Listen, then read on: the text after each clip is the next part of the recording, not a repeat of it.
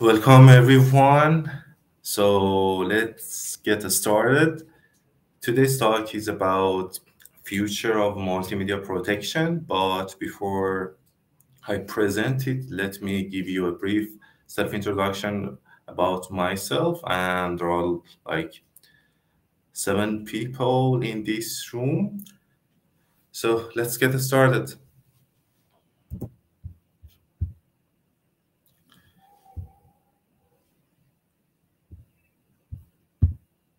So my name is Sajjad. I am a software developer, Android professor and researcher in the fields of cybersecurity and AI. I published too many papers in the fields of image watermarking and ownership protection and tamper detection, and I'm somehow professional in this field, and that's why I chose this topic for today's talk. So this is the outline. First of all, uh, we're gonna get familiar with watermarking technology, and in the section two, I'm gonna present you the two main applications of digital watermarking, which are ownership protection and tamper detection. Next, in the section three, we get familiar with future camera systems built-in watermarking systems. And at the end, we have a wrap up. We, I give you a summary and additional resources for those people who are interested to learn more about this topic. So watermark technology. What is watermark technology?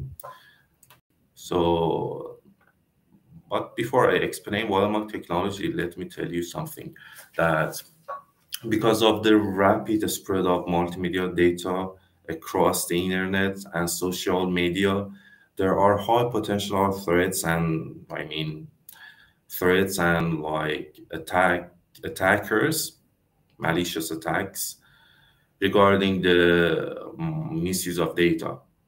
So we want to prevent this misuse of data. We want to track or prove the misuse, uh, misuse of data and that's why watermarking technology was introduced.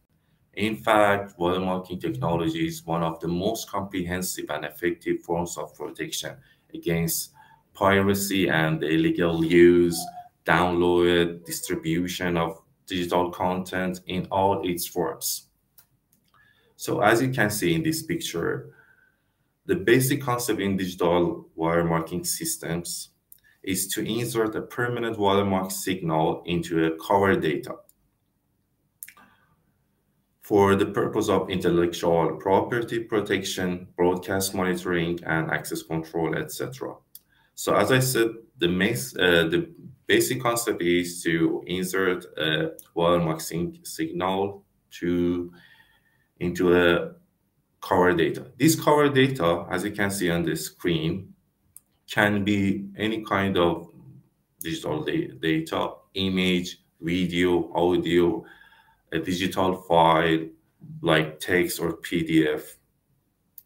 And digital watermarking has two main steps.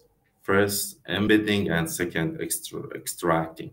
So in the embedding uh, step, we, as I said, we embed a, a watermark signal. This watermark signal can be any kind of identification data, for example, identification number, a logo or a label, uh, something about the owner of that digital content. So we embed a watermark signal into the cover data.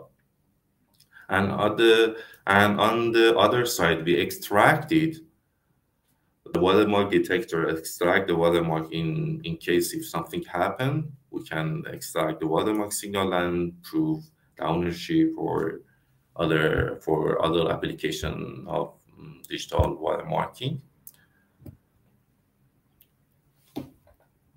So we can consider digital watermarking as a communication model. Here we you can see my mouse pointer. So here we consider sending two messages in this in a, a single signal through a channel. This channel can be on the internet or social media. So we insert an identification number, a logo as a watermark based on, based on a secret watermarking key into an original cover data, which can be image, audio, video, etc. So, and on the other side of the this communication model, we have two receivers. One is human being that should receive something very similar to the original cover data, and there should not be any perceptual difference between the original cover data, original cover data and watermarked cover data. And the other part of uh, the second receiver is watermark detector.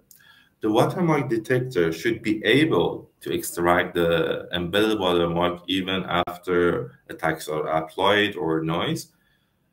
So that's the communication model of watermarking. And let's get familiar with the um, ownership protection. So how does watermarking protect ownership? So in watermark technology, we can protect ownership by using embedding robust watermark. Let me give you an example. Uh, imagine someone stole your photo and took uh, the your photo you took by your camera, stole your photo, and that person participated in a photography contest with your photo. And won the photography award. And how do you want to prove that that photo is absolutely yours and the award should be given to you? In this case in this case in this scenario i mean if you already if you already embedded a robust watermark into the that image uh, so for example identification number or logo of your company, it's easy and you easily can prove that the photo is absolutely yours. In fact, robust watermark can survive not only in general operations such as compression, changing format, but also against geometric attacks such as rotation, scaling, and so on. So in this picture, this picture is from one of my published papers you know in a top journal. And you see on the first column this is the the original what uh, i mean there is no attack apply under this image and this is the extracted watermarks. There are i embedded two watermark logos into this image. We, we extracted here you can see and here in this picture in the middle uh, middle column you see we add salt and noise addition with high density and still we are able to extract the watermark and here on this corner on the low left corner of the picture you see that one quarter of one quarter of image is destroyed, but still we are able to extract the watermark. Um, uh, you know, because we embed the watermark throughout the image, not only a specific part of the image, throughout the image, so it's somehow so, so robust. And if someone wants to remove our watermark, cannot uh, cannot remove it. Um, that's why we call it robust watermark. So let's get familiar with uh, tamper detection, which is the second uh, application, main application of uh, watermarking. So we do tamper detection by fragile watermarking. What is fragile watermarking? In fact, fragile watermark is kind of watermark that is very sensitive to tamper and detection. We embed this sensitive, uh, fragile watermark into the image as a mask. Since this fragile watermark is sensitive to any tamper, it will be destroyed if someone try to tamper a part of it. And finally, in the extraction part shows us which part of the image is tampered. That's how we can verify the authentication of multimedia data by using using the fragile watermarking. Here in this picture, I'm showing to you by my mouse pointer. Here's uh, the first column shows attack watermarked image. Here you see that one quarter of this image is destroyed. And the, in the authentication results, uh, we, we see the result, we detect the tampered part, uh, the tampered part of our image with black color. And on the right column, you see the extracted watermark uh, image that shows us which part is tampered and here you see the accuracy is very high in most cases, accuracy like 999% 100, and here is 82% is the accuracy rate. So we embed a fragile and sensitive watermark into our image and we extract it and we see if it's kind of uh, tampered, we can immediately realize that and the fragile watermark shows us which part is tampered. It's like robust watermark. It is embedded throughout the image. And there, is, there should not be any perceptual difference between the uh, original data and uh, fragile watermark data. So let's get uh, familiar with future camera systems. Future camera make watermark your image automatically, whether you want it to or not. Mm, in fact, image manipulation is just about as old as photography itself. But in the modern era, it's hard to imagine it becoming an ex existential crisis. I mean, in fact, deepfake technology takes advantage of AI to create realistic fake image videos. And here social medias com uh, combat and they really want to prevent the spread of fake multimedia data or misinformation on their social media ecosystem. Sorry for this uh, mistake. Is com uh, combat not compat so uh, as i said social media wants to prevent the spread of fake technology fake uh, deep fake photos and images and here researchers suggest uh, a new way of built-in watermarking for next uh, generation camera systems which I explain in the next slide. Here is the process. Uh, please follow my mouse pointer. Here, imagine you have a camera or a smartphone. You take a picture. At the same time of taking picture, a watermark will be embedded into your image or video. And uh, using AI and your hardware, and when we uh, when we send this image on the internet uh, on the other side uh, we don't know most people don't know whether this is an kind of uh, manipulated copies the original copy. They don't have they have no idea about this image we we share it on the internet. So on the other side people use forensic analysis to separate, to distinguish the original and manipulated the, uh, data or image or any kind of digital content.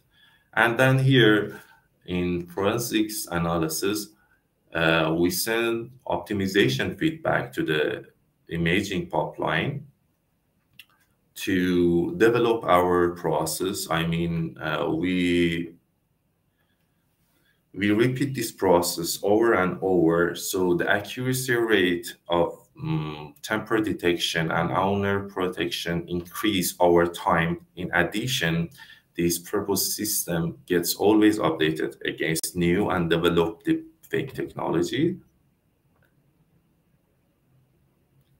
And let's move on. Here, some advantages of using built-in watermarking for next generation camera systems.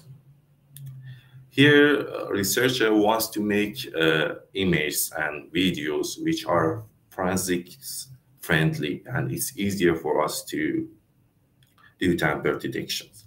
We want to make uh, image with this attribute and we use AI and deep, uh, deep learning AI to embed watermark at the same time of capturing. And second, it would be easy to authenticate uh, our multimedia on the internet or social media because every image and uh, video has kind of robust identity and fragile watermark. So that's the advantage of using uh, built-in watermarking. So wrap up, uh, we got family watermarking technology, which we embed a robust or fragile watermark into the cover data and the and the watermark data should not be different. Should look same as the original one. And for we got family with two main applications of digital watermarking which are ownership protection and tamper detections and at the end we got familiar with the future technology in camera systems here are additional resources. Uh, this is my uh, first um, article about an intelligent and blind dual color image watermarking for authentication and copyright protections. I, I will share this link and the chat and everyone wants to read more can access to my paper. Here, I suggested a method to embed at the same time a robust and fragile watermark to protect our valuable images. And here is a survey article that explains watermark technology uh, using singular value decomposition SVD based. And here is my tech web, a weblog. I mean, this is my tech web blog. I I share my watermarking experience, knowledge in this weblog. And this is the link of some researchers who are working on future camera systems. This is the article news about them. And thank you so much for your attention. And uh, if someone has question, I'm ready to answer your question. So it sounds that no one has question. Hi, Sajjad. Hi, Mahdi. Uh, uh, thank you very much for your nice presentation. I personally uh, got familiar with many concept of uh, image watermarking and other things. Just uh, I was uh, wondering about what is the act of the artificial intelligence in the proposed optimization feedback system. Just want to know how like um, AI can help in this uh, like security of domain and how it how you can just uh, combine this concept and uh, just want to know some uh, like more idea about this. Okay, sure. Thank you for your question. Actually, it was a good question. Let me get back to that slide here, we have a process here. If you follow my mouse pointer, yes, uh, we we actually I'm working on that, and we want to use deep learning, not machine learning. We want to use deep learning to minimize the human interaction. Mm -hmm. Here, human through this over the time and through this process our deep learning method will learn how to update themselves uh, himself how to use you know the difference between machine learning and uh, deep learning. In machine learning, you should teach the system, but in uh, deep learning, the system learned by himself.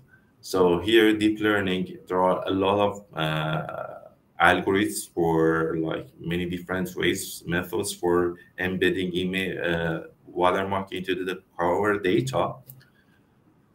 Here we try to provide a system for deep learning technology to learn by himself and to develop himself and choose the best way, the best methods for embedding uh, watermark into the cover data. That's how we use AI in this system.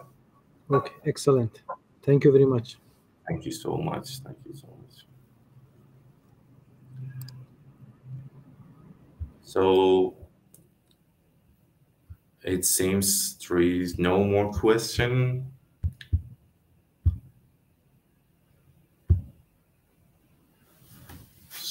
So we had only one question in this talk. However, thank you so much for your attention. Uh, there are like some ways for you to get in touch with me. Here is my LinkedIn. I'm showing to you, and here is my GitHub. I share some codes of watermarking, image watermarkings, which are open source, and you can using MATLAB, and you can run it on your computer. And here is my email address, just in case you have questions, you can email me and ask me. And thank you so much for your attention. Have a good and wonderful time. Thank you. Thank you. Thank you very much. Welcome, welcome. Have a good time. Bye.